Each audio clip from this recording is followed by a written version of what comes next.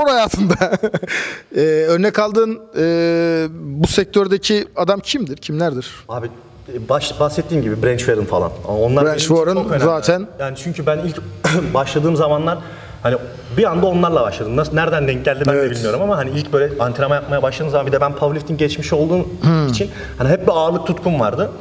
O yüzden onları böyle hep izliyordum. Yani onları izleyince de haliyle acayip onları örnek aldım. Dorian Yates. Dorian Yates. Onların o. Dorian'ın o, o bir karanlık shadow Ya evet. Lakabı Shadow Evet, zaten. Shadow. O mantık ya onlar falan benim hep hoşuma giden o tunnel vision kafası. Hani o İngiltere'ye gidip herkesin merak etmesi. Tony Coleman, Jay Cutler. And Guts. Cutler'ı çok sevmem abi ama. Öyle mi? Ya çünkü çok tutarsız geliyor bana da. Tabii ki de Cutler yani Peki son dönem bodycilerden mesela Hadi Chopin'a ne diyorsun? çok sevmiyorum abi. Şey e, Mısırlı E, neydi o? Big Ramy. Big Ramy. Onu da çok sevmiyorum.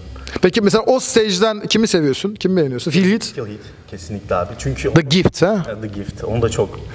Yani onun en çok sevdiğim kısmı abi o da milyonda bir genetiklerden bir tanesi olduğunu düşünüyorum. Çünkü Allah vergisi. ilerleyişi çok acayip e, hoşuma gidiyor. Basketbol. Evet.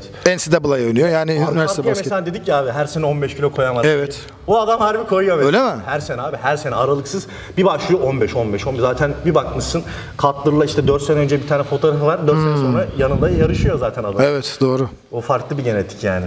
O da bitti ama Furkan işte. da öyle mesela abi ya. Hani adam bir sene oldu. Bir sene bile olmadı biz tanışalı. bu arada.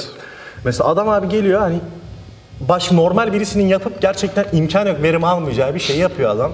O iki hafta geçiyor görüşmüyorsun bir geliyor mesela adam Ama Allah vergisi. çağırmış. Genetik. Genetik.